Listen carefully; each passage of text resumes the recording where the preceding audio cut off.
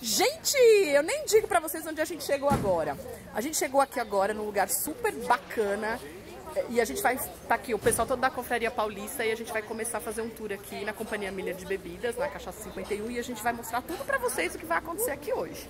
A gente vai começar aqui no invase, depois a gente vai pro envelhecimento, depois destilaria, cana, e a gente vai mostrar tudo o que for possível pra vocês ficarem apaixonados e, e, e verem quantas boas ideias acontecem aqui.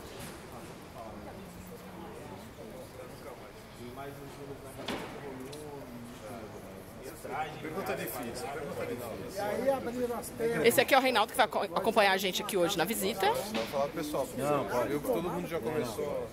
Deixa eu só explicar um pouquinho como é que funciona o fluxo, a gente vai ver por detalhe, mas é, todo caminhão, assim, quase 90% Estragado. mais ou menos do que a gente invasa né, de cachaça é retornável, vasilhame é retornável. O caminhão entra, vai para esse galpão de baixo aqui, vocês vão ver ali é onde é a área de descarregamento, né, então os vasilhames retornáveis são descarregados ali. E aí ele vai alimentar a linha de tem aqui atrás, que a gente vai passar por ela ali passa por lavadora, tudo invasa, produz, o produto sai pronto do lado de cá. O caminhão que descarregou dá a volta na fábrica lá no final, pesa na balança e carrega aqui novamente. Está pronto para ir embora já. Acabado. Então vamos para frente ali para a gente ver o passo a passo do processo. Lugares que compram de vocês, vocês recolhem? É, na verdade, a gente tem os distribuidores que abastecem os bares, né? Então, assim, por exemplo, Walmart, grande rede de supermercado não é retornável. A gente vende on way. Agora, com as grandes redes, os grandes distribuidores que, que, a- que vão para o ponto de dose, eles fazem esse trabalho de retorno e voltam com o vasilhame para a gente. Então, eles, eles compram mais barato, né? Esse retornável, o produto retornado é mais barato. Então ele compra da gente retornável e tem que entregar o vasilhame. Tem muita falsificação? Isso, isso aí. A gente tem uma máquina aqui que a gente vai mostrar. Tem. Tem muita falsificação? Não, não tem muita falsificação não. A gente tem alguns dispositivos de segurança, né? Então essa tampa mesmo que a gente desenvolveu e lançou em 2014 é uma tampa com recursos para evitar a falsificação. O que acontece, e aí acho que é normal, é a gente recebe aqui vasilhame retornável e tá com a, tá com a tampa cortada e tá com mato dentro, tá com um monte de coisa dentro que o pessoal faz, as misturas específicas lá.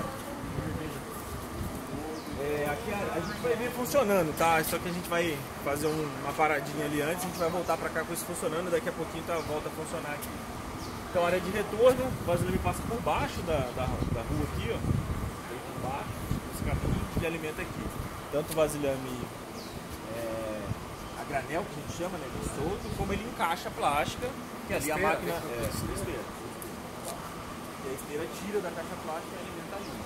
Ali a gente tem duas máquinas rotativas que são as extratoras. Né? Então ela vai abraçar o gargalo da garrafa e ela arranca o conta-gotas destruindo ele, cortando para não ser possível de reutilizar. E aí a- embaixo ali a gente armazena e depois vende esse conta Pode chegar ali perto? Calma, a É, gente não, vai chegar lá não. daqui a pouco, Pardinho. Calma, Pardinho. não. Pardinho. Calma, Pardinho. E assim, vamos pra. Ela, ela deu uma paradinha, né, Thiago? Ela Não, é, é, e volta Não, teve alguma manutenção que ela ia estar rodando. nessa hora? É, Mas eu acho que vai a voltar. gente já. tinha alinhado, mas ele acabou de falar que tava dando uma parada. Vai voltar já. Vamos lá pro, pra nossa paradinha e a gente volta pra cá pra. Favor, se você pudesse tirar uma foto nossa aqui, depois começa a dispensar. A pessoa